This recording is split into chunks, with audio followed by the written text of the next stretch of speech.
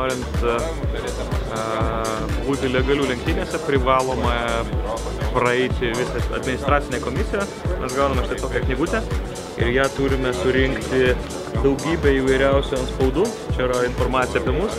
Ir kiekviena tarnyba, sakysime, lenktynėse su dokumentų patikrinimai, visos saugumo sistemos, e, įvairūs mokėjimai, ekologiniai, e, tam tikri dalykai, kuriuos mes privalome žinoti, mes privalome rinkti kiekvienoje vietoje specialius anspaudus. Ir šita knygutė yra specialiai padaryta tam, kad matote, tai yra turbūt apie 40 anspaudų įvairiausių, kuriuos mes turime surinkti tam, kad e, mes galėtume toliau gauti laiką techniniai komisijai. Tada mes parodysime automobilį ir jeigu automobilis irgi bus tinkamas lenktynėms, tuomet mums bus leista viską padaryti. Dabar mums liko tik tai paskutinis anspaudas, final check ir tuo atveju, kai mes užsidedame tą anspaudą, mes turime pusę valandos nueiti į specialią vietą, kur stovi mūsų automobilis ir pradėti rodyti į techniniai komisijai.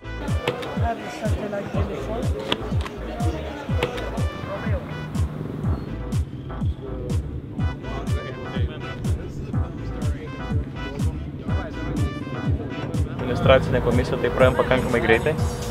Iš tiesų netgi sakyčiau, kad stebėtinai greitai. O dabar pati pradžia techninės komisijos, čia irgi lygiai taip pat yra tam tikri spaudai, kuriuos mes turime surinkti, tik tai čia jau daugiau žiūrės technika, o ne dokumentus. Tai nors dokumentų iš tiesų čia irgi bus pakankamai nemažai, tai matysim.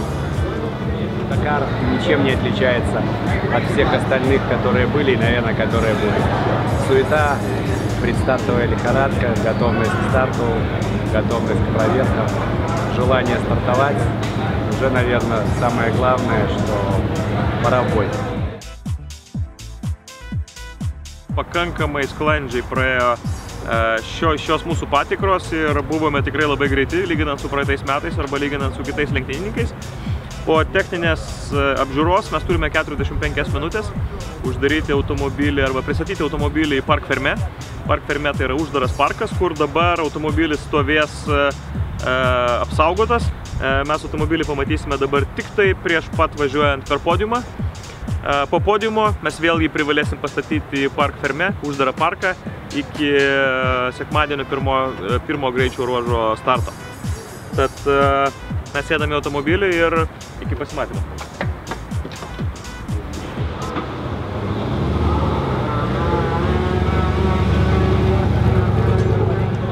Išminties ir vienam ir kitam ekipažui, nes uh, tikrai bus mm, ruožai ne ką mažiau pavojingi ir tikrai bus labai lengva suklysti ir padaryti, kad ir nedidelę, bet lemtingą klaidą.